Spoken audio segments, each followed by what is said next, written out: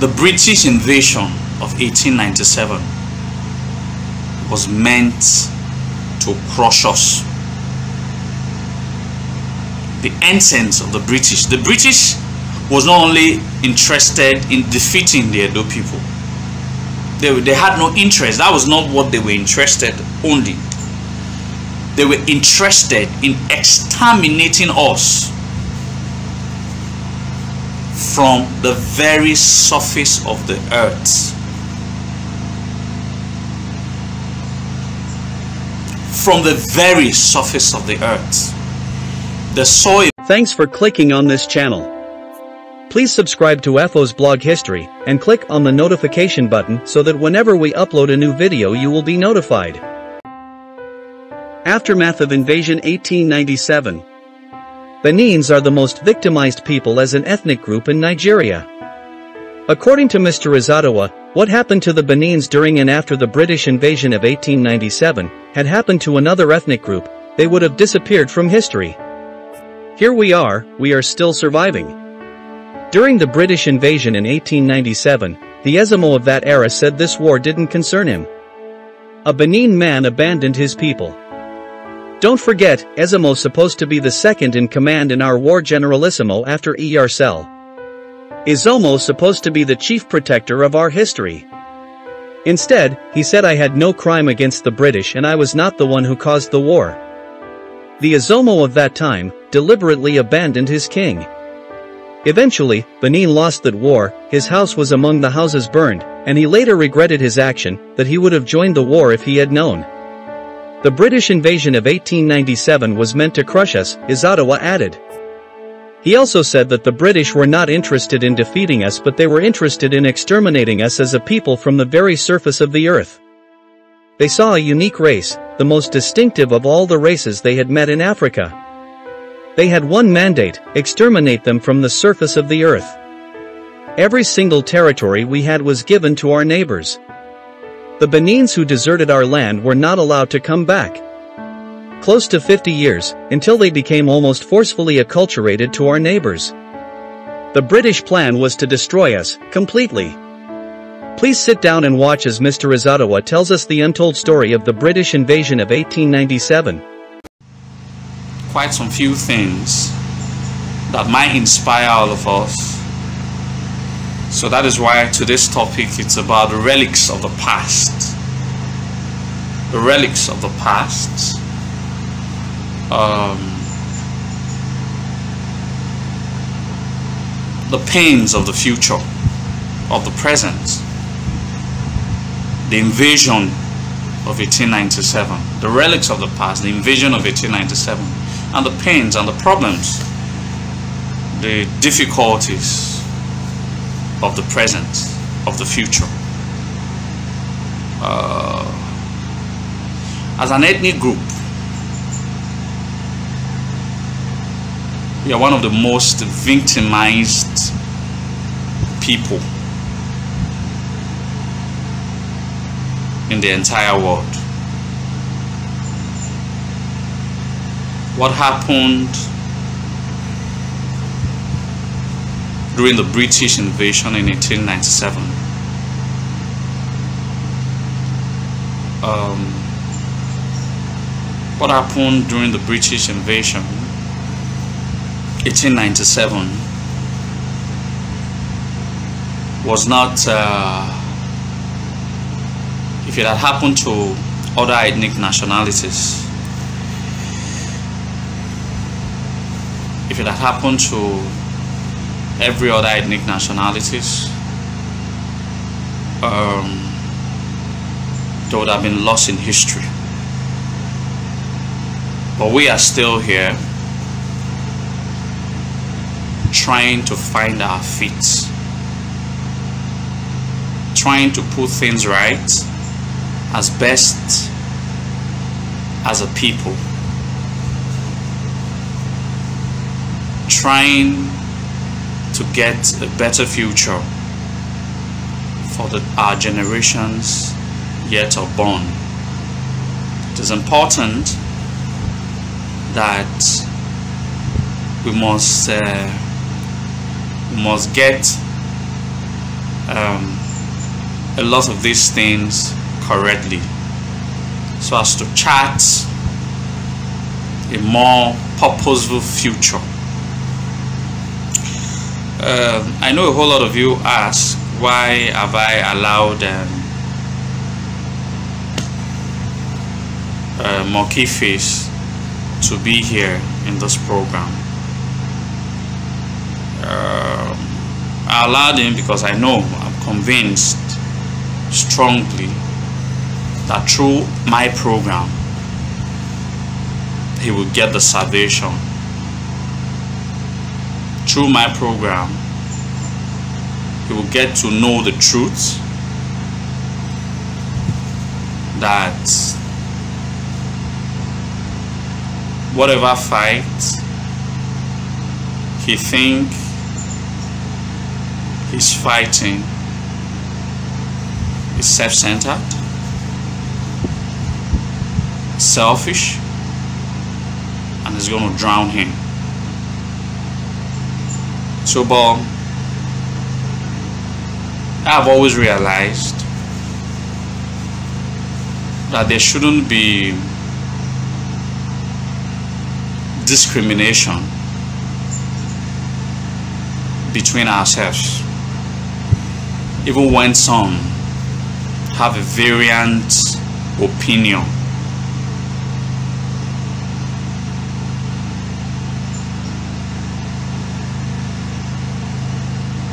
during the British invasion in 1897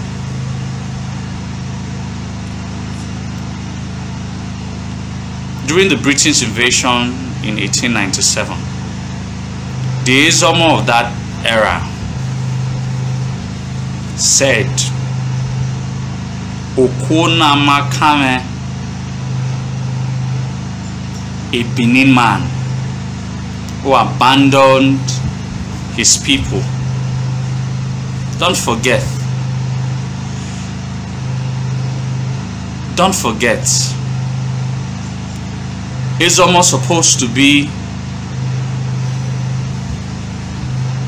is the second in command in our war generalissimo after the Iyase. Ezomo is the next in command. He was supposed to be the chief protector of our history. But instead, he said he had no crime against the British. And as such, ẹ̀yàn síàmì ọ̀rẹ́ ẹ̀yẹn or síàmì nọ́gbẹ́dọ̀. These are some of the stories that have not been told. The Ezomo of the British invasion 1897 deliberately abandoned his king to his fate ọ̀rẹ́lùdẹ́ èèyàn sàmẹ̀nà gbẹ̀dọ̀ ẹ̀yàn ológbòsẹ́ èèyàn ọba ìṣẹ́ àgbọ̀n èèyàn ẹ̀nínními n'ọ̀yà gbẹ̀bọ̀. He had a lackadaisical attitude towards his people. Eventually, the Benin's lost that war. What, what, what became him? He regretted that he because some of the houses that were eventually burnt down was Ezomo's house. Was Ezomo's house. So in times of war, there are no neutrality. It's either you are in or you are out. It's either you are there or you are not there. It's either you are for or you are against. Shocking. The Yase of that era also, I can remember that one's name. His name was Okina. also rebelled against the Benin people.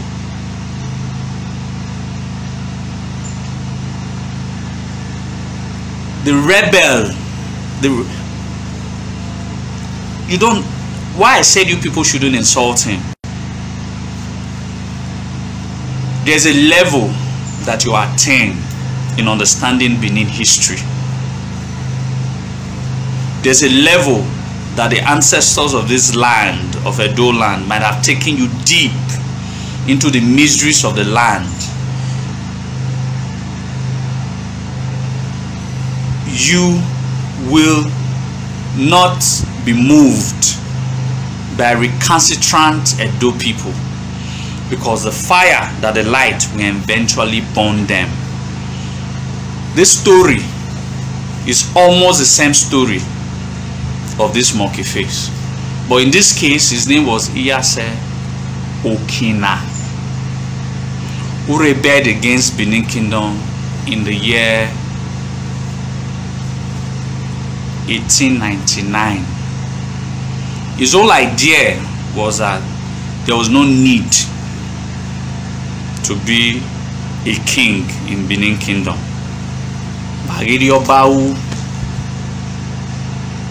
Bagidi Obawu Yenoba Iwu Nedo Bosi Nedo Nagoba and Iyase who was supposed to know better his name is Iyase Okina. He protested against the coming back of the Benin monarch. He protested against, against it fervently in 1899. But a year later, in 1900, he died. 14 years later, the Benin, monarch was restored. Why am I sharing this story? Why am I sharing this story with all of you? I'm sharing this story with all of you is that every man or woman that has stood against the Edo people, the monarch and the monarchy, the king and the people, they have all died. The people still living, still exist, and the king still exists. So, at every generation, they are bound to be rebel. They are bound, and that is why I, I, I don't feel what he is doing. There must be a rebel. There is no doubt about it. You understand? They will all die, but the monarch will subsist. That's the beauty. They are bound to be rebels to the throne. They have always been rebels to every thrones of the world. They will all die. The history will remember them just like the history is remembering Iyase Okina. We are discussing about him, how he rebelled about there should not be any need for the Benin throne to return. He died a year after, and 14 years later, the throne returned. The history no longer rem remembers Iyase Okina. Iyase Okina is being remembered as a traitor to his people and to the throne. So, how we play our parts, it's how history will remember the part and the roles that we have played. I choose to be in the right side of history. I choose to be an Edo man who stands for his people. Selflessly. I choose to be an Edo man who will put his life on the track for his people selflessly. How we are remembered by history is based on what side of history we were during our era of lives. So, count him as that person who chose the wrong side of history at the time of his life. And history will remember him as that which stood against his people at the time where unity was needed.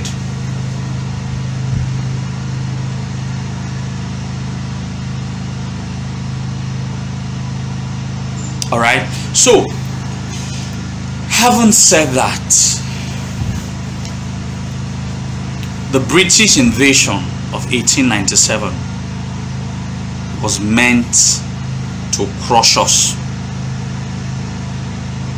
The essence of the British. The British was not only interested in defeating the Edo people. They, they had no interest. That was not what they were interested only.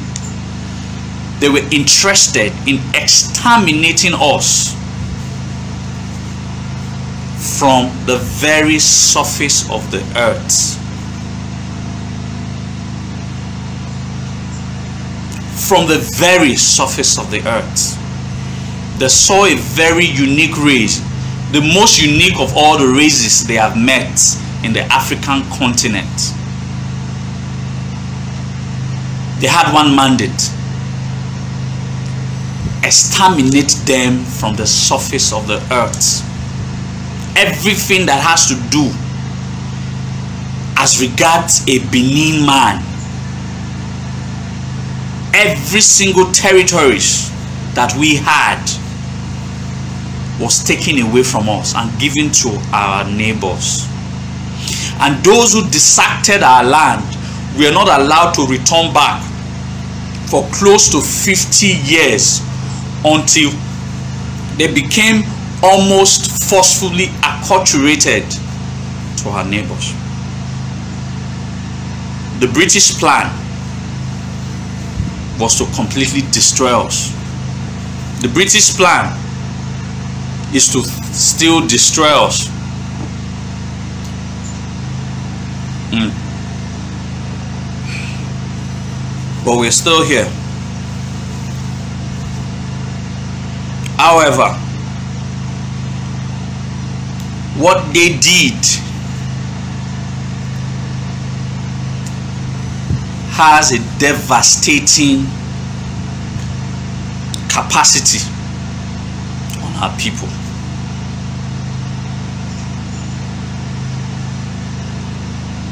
amaikwe dede awo nagamie nari on ivie do yeragbon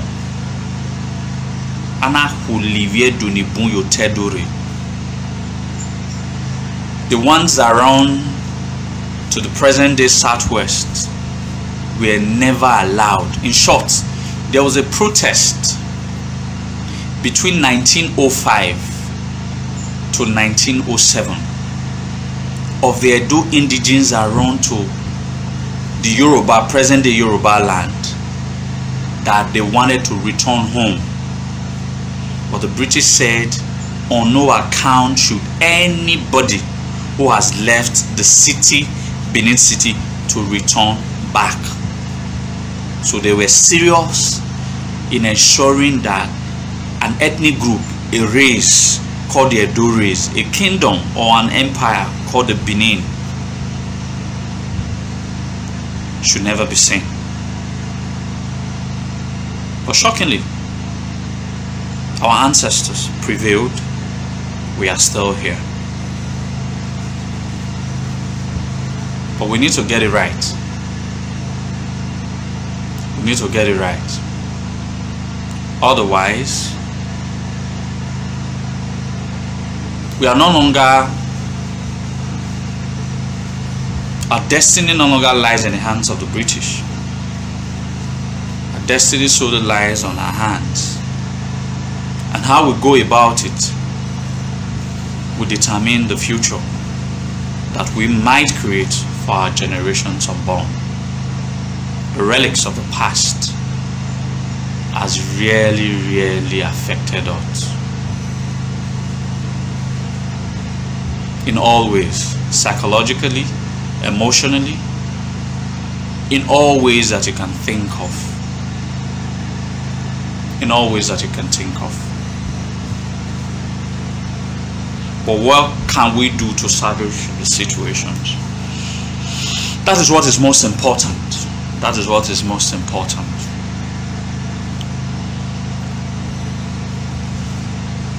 I'd like to talk about the failure of our elites. I'd like to talk about it briefly. And I like, by the power of God and our ancestors willing, I'd like to make it a topic on how shameful our so-called elites are.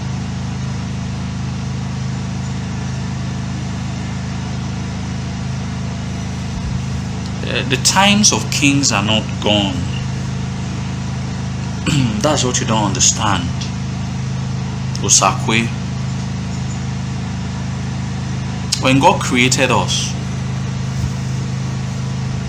He created us with a structured leadership.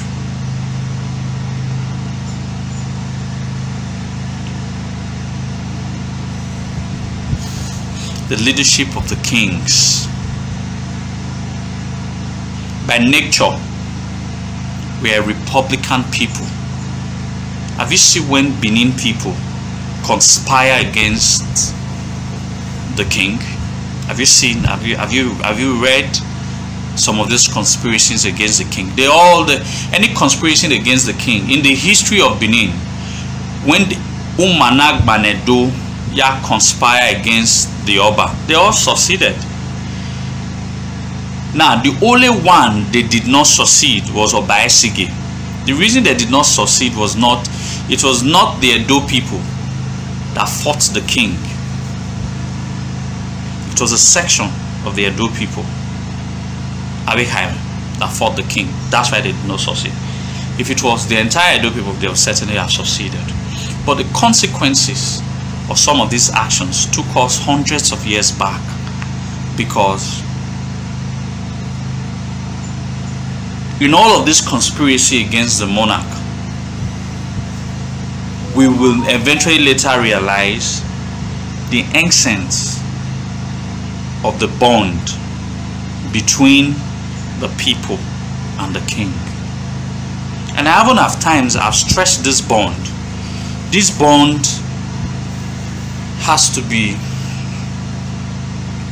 balanced. It has to be a scale of 50-50. Oba or Edo, Edo or Oba. It's a scale of 50-50. Alright? If the people overshadows the Oba, they are bound to be anarchy. The Oba overshadows the people, they are bound to be anarchy. the traditional institution of the Edo people must understand that it's a balance. You give to the people, the people give to you.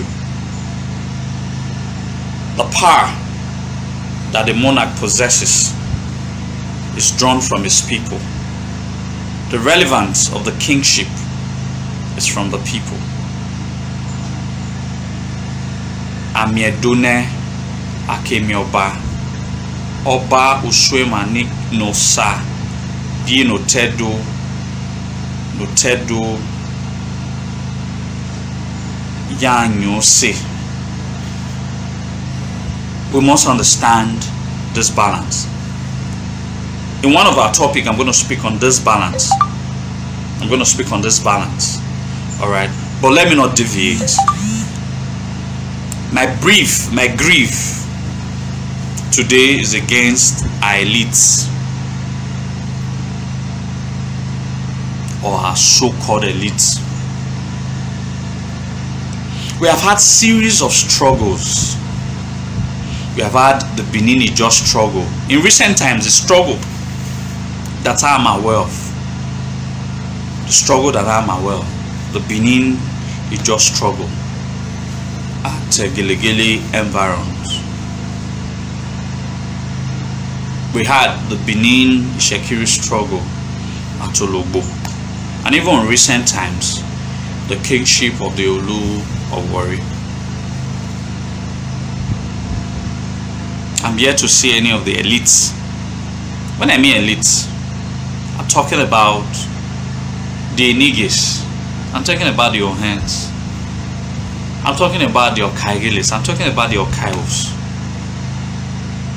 Those that are traditionally empowered to be a servo to the Edo people. What roles have they played in recent times to assist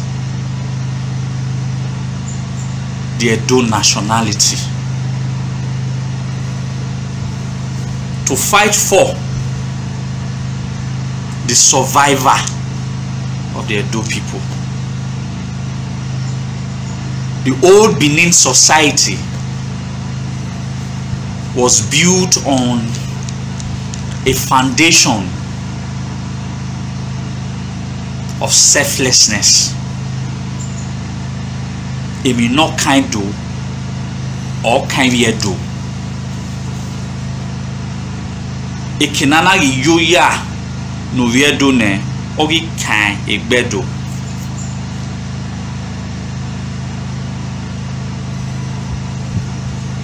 Adesuwa was a daughter of Ezomo. And it, he, she was murdered by the Obuluku king. Edo na be ari obi Edo zese awano. Gaya tam Obuluku king. Osuima Ogbe and a war was declared upon. I can give you examples of killing a Benin person, how it has led to Benin waging war against ethnic groups or neighboring towns who killed one of them. The strength of unity. Akugbewaro. There were selflessness. There were people who who were selfless to the very cost of Benin land. Extremely selfless. But today, what do we have? Bunch of useless, stupid, ragged, self centered leaders. I see them a lot and I feel so ashamed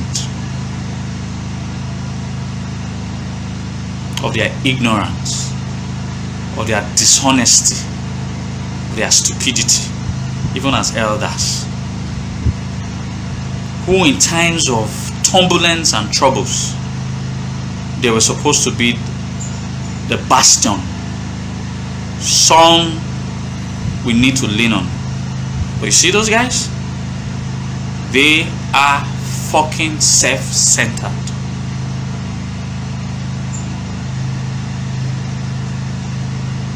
Outside the Benin traditional, outside the Benin monarch, I don't think we have any other leadership. Is there any Edo man that you think every Edo man must run to outside the Oba Benin? Error. Because they are all bloody self centered, egocentrical bunch of. Uh, they, they, they can only be interested if we are mere way. It's not very difficult for you to see a Benin man who does not have interest. If whose interest is not protected, will be able to put it every every single thing out to fight for the nationality of his people. It's very difficult, and that's why we are, and that's why we are not great anymore. I tell people that when Benin start getting some of the essentialities of the old society right, when they start getting it right, that's the only way that a lot of these little little things, no wima or the baby until we start to critically look inward to examine the problems of ourselves as a people, uh, we're going to be. See, after the British did all they had to do, I don't know how they did it. Suddenly, we became people who no longer recognizes themselves anymore.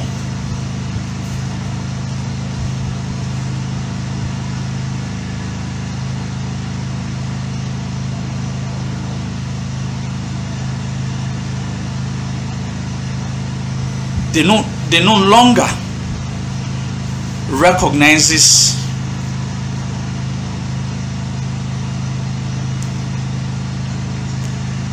the sacrifices of the old.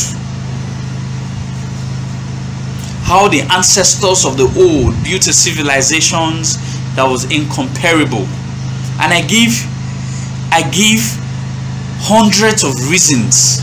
I tell them that the, the difference between the Benins of old and the Benins of present is miles apart. They are not the same in all categories. They are not the same. Edo, Nede, Vedo, Vedenena. They are not the same. They are they are they are miles apart. They are hundreds, millions of miles apart.